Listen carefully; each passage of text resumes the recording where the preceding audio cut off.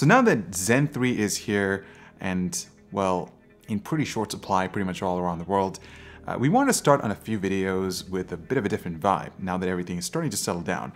You see, just the other day we were debating on which one of these new Zen processors would be the most popular, and we landed on the Ryzen 5 5600X. Personally, I think this is the best all-around CPU in AMD's new lineup since it's the lowest priced, gets amazing in-game frame rates, and holds its own in multi-threaded rendering too. Not only that, but if you're gonna find one of these new Zen 3 CPUs, it's most likely going to be this one since it seems to be getting restocked more often. That conversation got us into thinking about the upgrade path uh, that someone might be on right now. You see, while we did showcase the Ryzen 3000 versus 5000 series in our launch day review, the reality is that most users' upgrade cycles are two years or longer. They might be looking to upgrade for about the same price or the same cost as they originally paid for. And that's where the Ryzen 5 1600X, 2600X, 3600X, and 5600X come into play. The upgrade story between them is really straightforward. I mean, they all cost about the same at launch, even though they're separated by almost four years of development. Also, since these are all 6-core 12-thread CPUs, it also gives us a really interesting opportunity to check out how the Zen architecture has evolved over time with processors that have an identical core layout. So in this video, we're going to find out what kind of performance uplift someone could expect uh, between these four different generations of Ryzen processors, and also quickly check out the Zen architectural improvements uh, from its birth till now. Trust me guys, this is going to be interesting. The new Pure Loop all-in-one coolers from Be Quiet have a doubly decoupled pump near the radiator for silent operation and flexibility for mounting, an elegant cooling block with pure white illumination, an accessible fill port on the radiator with liquid for future proofing, and Pure Wings 2 fans on the rad. Check it out below. Alright, so I wanted to start this all off with a bit of a history lesson about Zen's life up to now. And that's because it basically changed AMD's path from trailing Intel by a huge amount to now beating their best CPUs in almost every way. It's been an epic success story. Back before Zen, AMD was facing some very real problems. They'd bet big on Bulldozer architecture that failed to deliver, so by the time Zen rolled out in 2017, other than a few APUs, their lineup was basically filled with three-year-old processors, and those didn't stand a chance against what Intel was offering, especially in gaming. I wish there was time to go over all the differences between Zen and Bulldozer, but let's just say that it was a completely new design. And I mean, AMD threw out everything about their old design and started new. Not only that, but the new architecture brought them from an ancient 32 nanometer manufacturing process to 14 nanometers, along with an SoC layout, DDR4 support, and cores that used SMT. The difference was like night and day, where something like the Ryzen 5 1600X could literally run circles around the FX 8370. But the big news was that Zen put Intel on notice that AMD was serious, and the updated Zen Plus proved that too. From a broad view, Zen Plus wasn't a huge change for AMD, but it was still really important since they moved the architecture from 14 nanometers to a 12 nanometer process. This, along with Precision Boost 2 and XFR2, allowed for higher sustained clock speeds and an overall more efficient architecture. But personally, I think the biggest change for the Ryzen 2000 series were its updated memory controllers that increased speed from 2667 MHz to 2933 MHz and made choosing modules a lot easier. You can actually see that playing out in the 1600X versus 2600X story, but in a more subtle way, while the clock speeds look really similar, like I said before, it was all about sustaining those frequencies over longer periods of time that gave Zen Plus a huge leg up.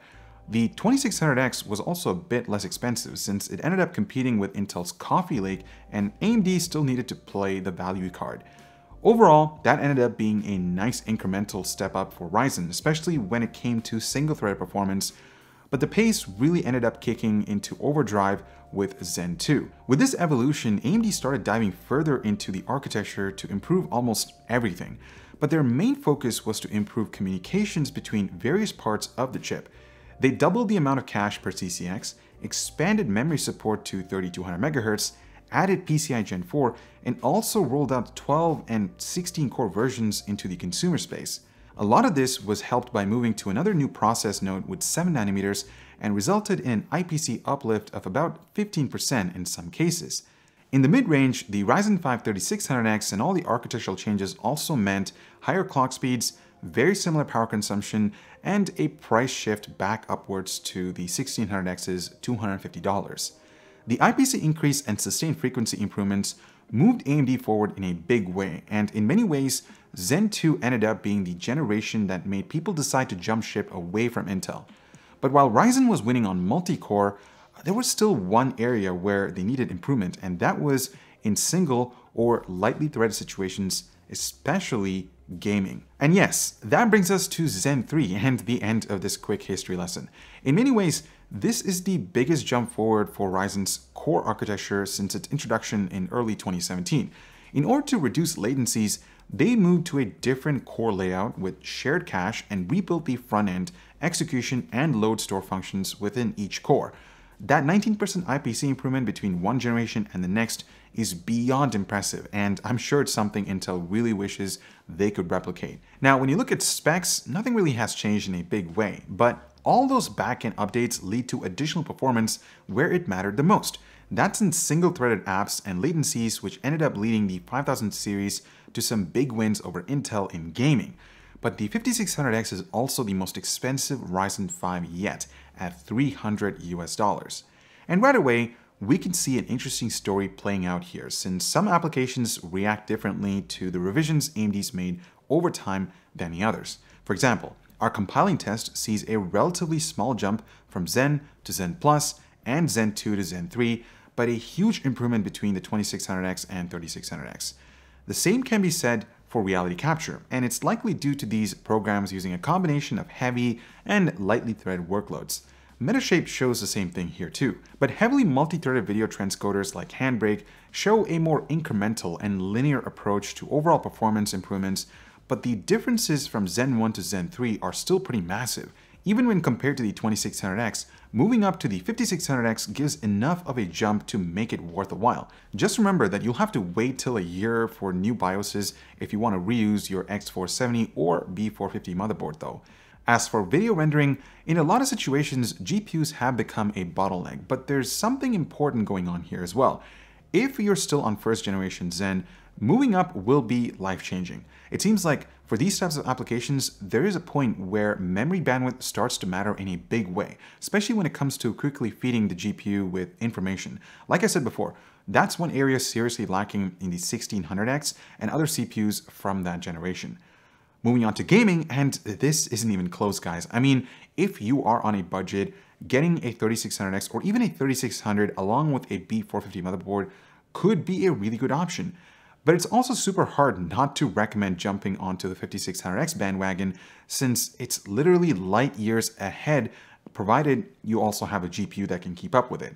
We can really see where AMD's focus was for this generation, and it's exactly what they needed against Intel, and it separates themselves from others in CPUs. Power consumption of the overall system is also something that's super important when it comes to upgrading.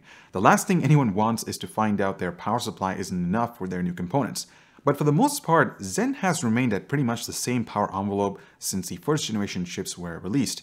And this is mostly because the additional efficiency from new manufacturing processes has allowed AMD to do more at the same power rather than reducing consumption. On the other hand, if you want a new GPU to go with the processor upgrade, looking at changing the power supply might be a good idea depending on what your system is currently rocking. Well, I guess there isn't all that much left to say because the results really do speak for themselves. But the real question that everyone's probably asking themselves is, is now, like right now, a really good time to upgrade?